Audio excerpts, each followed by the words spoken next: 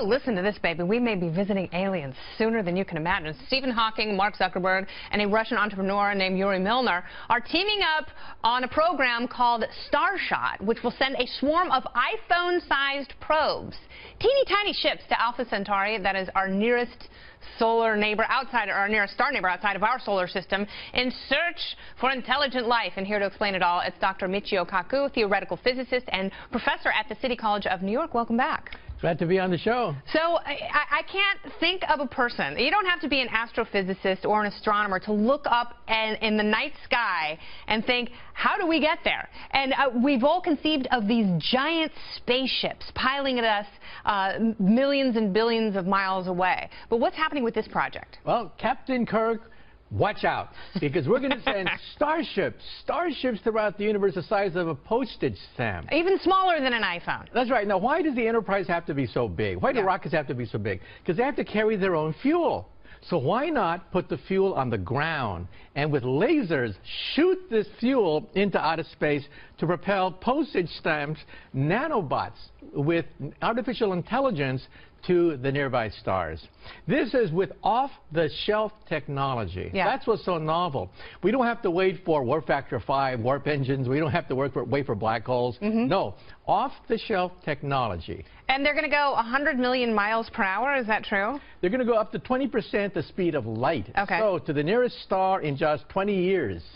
This is amazing that within perhaps our lifetime, perhaps our children's lifetime, we may get first images of a planet going around another star system. So once those packets get there in, in 20 years, how long will it take for them to beam uh, some of the images and information back to Earth? Well, each postage stamp has sensors, TV cameras, and all sorts of devices so yeah. that when they reach Alpha Centauri, they can radio the message back to Earth, and then would take about four years. Okay. So once they reach the nearest star, it would take then four years to then radio back the information. Now, this team, including uh, a former head of NASA's Ames Research Center, has said it's going to take 20 years from now until they actually launch, and then another 20 years. So.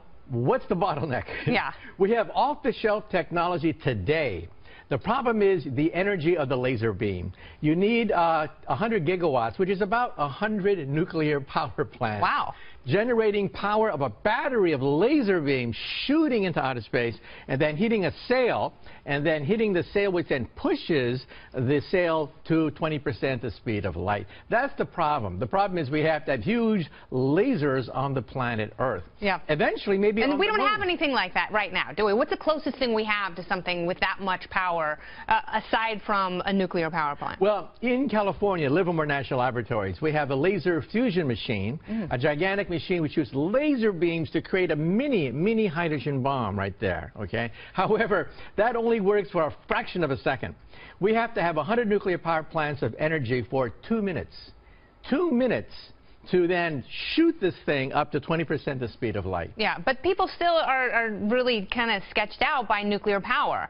You know, especially after Fukushima, people well, people are worried about what can happen, the the what ifs if there are accidents and meltdowns and natural disasters. Right. Now, it doesn't have to be a nuclear power plant. It could be a coal plant. It could be an oil fire plant. Yeah. Whatever. We need 100 gigawatts of power to energize a laser beam. Yeah. And then you have to aim it just right.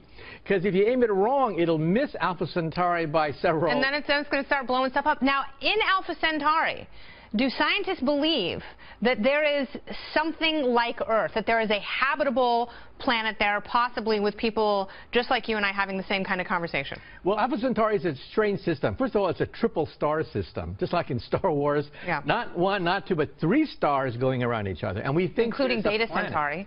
Well, we think there is a planet there, but it's not confirmed yet. Mm. But we think there could be a planet going around. How big? Uh, perhaps Earth size. But again, we get contradictory information. It's not been verified yet. Mm. But one study shows that there could be a planet going around a triple star system. And what, what would we need to verify?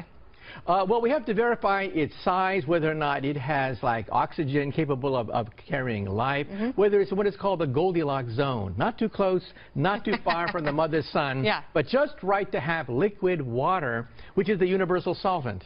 But it's got three mother sons. It's so modern. Uh, what a yeah. wonderful family. Right. Remember in Star Wars, you look up and you see two stars in the Yeah, sky? yeah. There you would see three stars in the sky. Hot, but you, would never, it'd never be black. You'd never get any sleep because there'd always be a sunrise going. All right, Dr. Kaku, thank you very much for uh, for coming by. Dare to dream, Yeah, right. and uh, Boldly go. That's We're right. talking starships now. well, maybe the aliens are already here and they can look over the plans and be like, nope, nope, yeah, yeah, that's it. Oh, Hopefully. All right, thanks again. Come back soon.